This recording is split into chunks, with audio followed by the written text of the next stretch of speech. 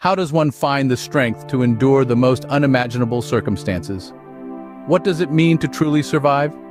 Today we delve into an awe-inspiring story of resilience, survival and hope, the journey of Elizabeth Smart. In the summer of 2002, a chilling event occurred that would grip the nation's attention.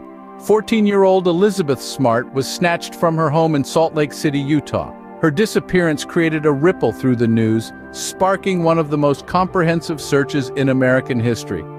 After a harrowing nine months of captivity, the unimaginable happened. Elizabeth was found and returned to her family, a testament to the power of hope and perseverance. Elizabeth's story, however, didn't just end with her return. In fact, it had a profound sociological impact, invoking a shift in our society's understanding of resilience and survival.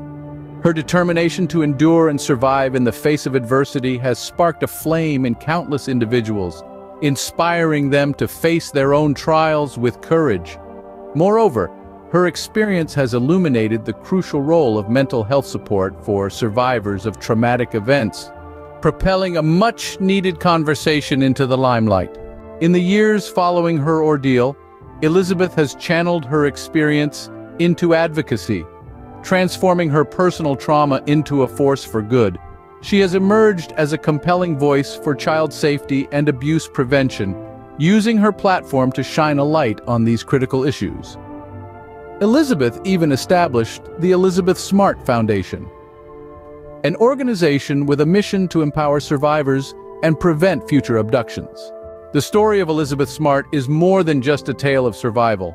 It's a testament to the indomitable power of hope and resilience in the face of unimaginable adversity. Her journey has left an indelible mark on our society, inspiring us to support survivors and strive for a safer world. As we wrap up this exploration of Elizabeth Smart's incredible tale of strength and hope, we hope her story resonates with you, reminding us all of the power of resilience.